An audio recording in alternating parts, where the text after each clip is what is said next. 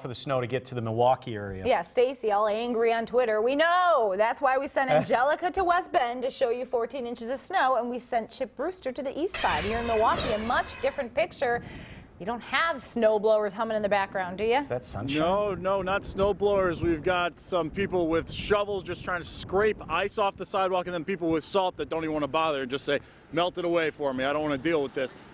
We were, like you said, mostly rain yesterday, and then that turned into snow, but the water from the rain stuck around, and the dropping temperatures turned that to ice. So that's really what Milwaukee and the surrounding area here, south and east of this area, have been dealing with today. You can see the roadways pretty much clear, not much snow really left even to speak of around here. That's because they plowed what little was away and salted it. Now, we had some video from last night, so you can see just what I'm talking about. A lot of snow and a lot of wind.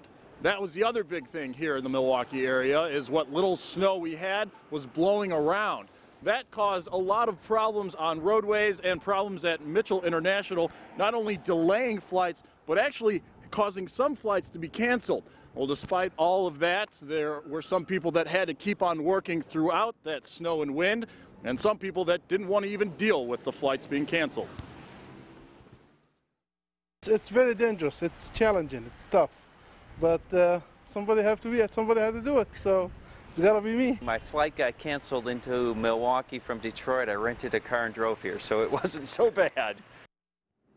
And it's not all bad news. I mean, there's some positives that come with the snow. Many skiers really excited. Those uh, Madison area ski hills that saw 20 plus inches of snow. I did mention about a half hour ago to stick around. This is my little surprise.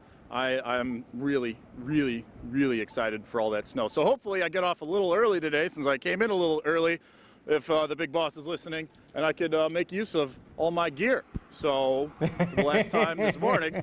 Is that a uh, hint? uh, uh, you know, I mean, hope, you know, we'll see what happens. Just Right. saying. Guy can, guy can hope. But uh, Milwaukee, not much snow. I'll probably be heading out west a little bit. So, Oh, Well, Chip have fun. Brewster. Yeah, have a good time.